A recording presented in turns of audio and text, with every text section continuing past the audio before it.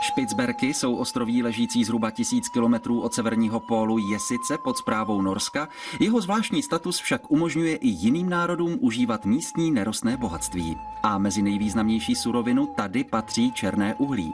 Jedními z prvních, kteří možnosti těžit v Arktidě využili, byli Rusové. Protože tady neexistovaly fyzické hranice ani překážky, lidé ze západu mohli volně sovětská města navštěvovat.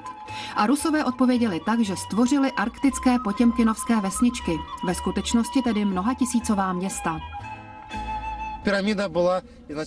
Například pyramida. Původně to bylo švédské město, které Sověti koupili už v roce 1926, ale začali jej využívat až po válce.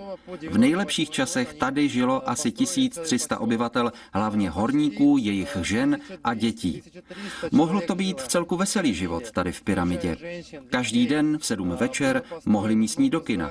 Tancovalo se tu a pilo. Postavili pro ně spousty solidních staveb, bazén, školu, školku a nesměl chybět ani kulturní dům.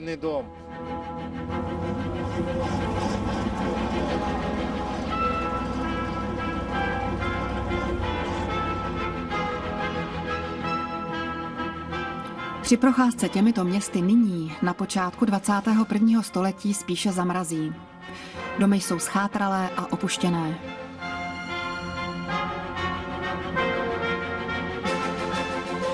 Ze skleníků, ve kterých Rusové pěstovali rajčata a další zeleninu, zůstala torza. Arktická příroda sice stavby konzervuje, ale tady všude je vidět nepořádek. Tak charakteristický pro ruské obyvatele Arktidy. Města totiž ve své megalomanské podobě nemohla přežít pád Sovětského svazu a následnou ekonomickou krizi 90. let.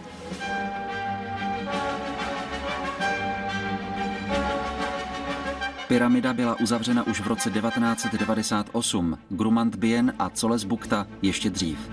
Pyramida ale dodnes vypadá, jako by ji Rusové opustili ze dne na den a možná dost nedávno.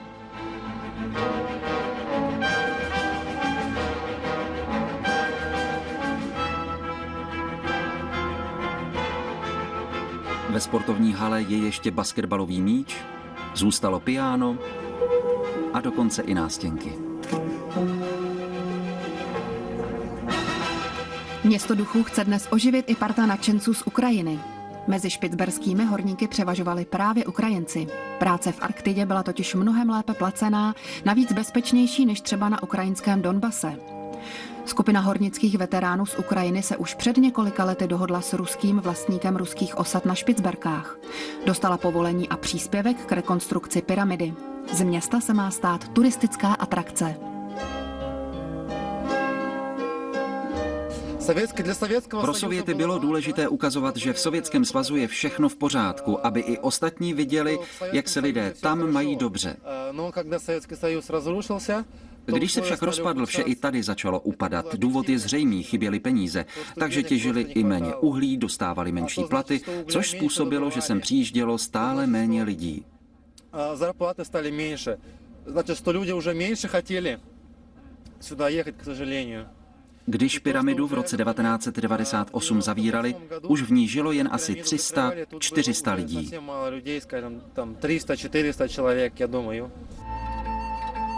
Ruská města se na Špicberkách po letech úpadu čistí a buduje se základní turistická infrastruktura.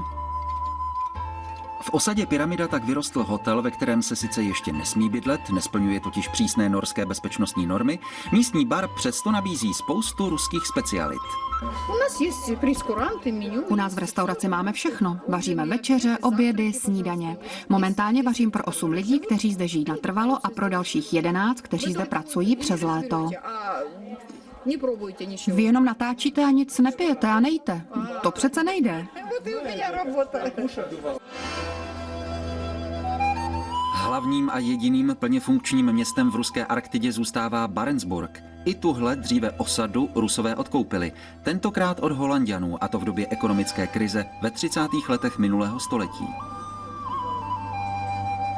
Kdysi tohle až 20 tisícové město dnes klidně spočívá na březích ledového Greenfjordu.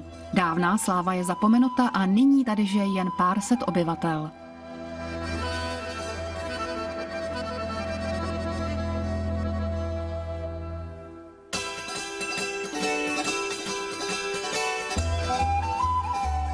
Do města se lidé vždy dostávali jen dvěma způsoby. Buď lodí, to ale musí příchozí vystoupat přes 200 schodů, město je totiž položeno mnohem výš než přístav. Elegantnější a ovšem dražší je pak cesta vrtulníkem na 4 kilometry vzdálený heliport.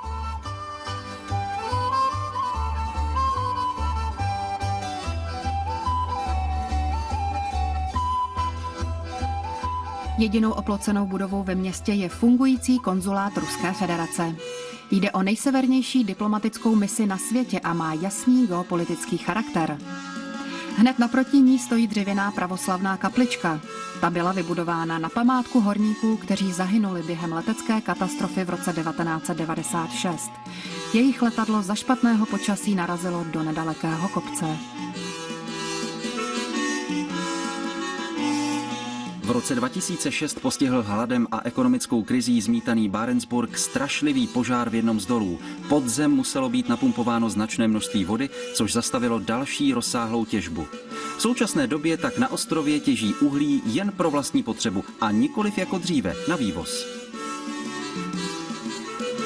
Stejně jako v sousední pyramidě, také tady v Barentsburgu už Rosové doufají pouze v rozvoj arktické turistiky. Slavné časy horníků jsou dávno pryč. Música